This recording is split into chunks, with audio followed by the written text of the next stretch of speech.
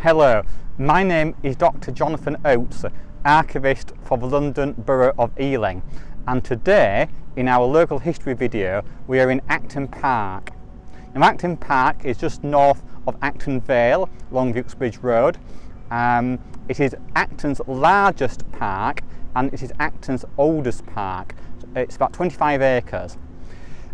Discussion first began about Acton Park in 1882 the council were thinking of purchasing the land that was around Berrymead Priory, which is to the south of the um, Uxbridge Road, not far from the town hall. But it proved to be too expensive, and so the idea was dropped. In 1886, the council discussed purchasing land um, which is now used for the Twyford Church of England High School, but that was vetoed as well. And it wasn't until 1887 that serious discussion began about Acton Park. Acton Park was due to open in July 1889 and the question was who should open it.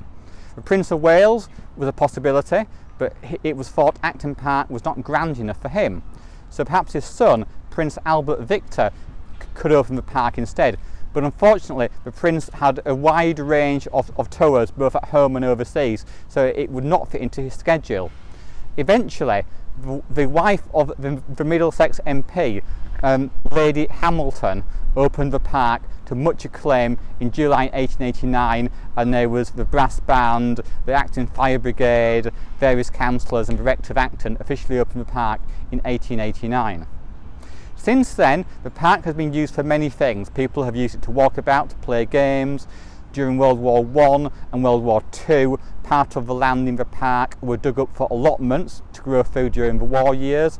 The park had also been the place for um, other events such as um, the Acton Horticultural Show in the past, um, displays of Acton Volunteer Fire Brigade, Um, in more recent times, there's been events such as um, Acton Carnival, um, Acton Fun Fairs, and many other events. So although Acton Park began with a great deal of controversy, I think we can mostly say these days it, it's thought to be a, um, a great success and a very useful amenity for people of Acton.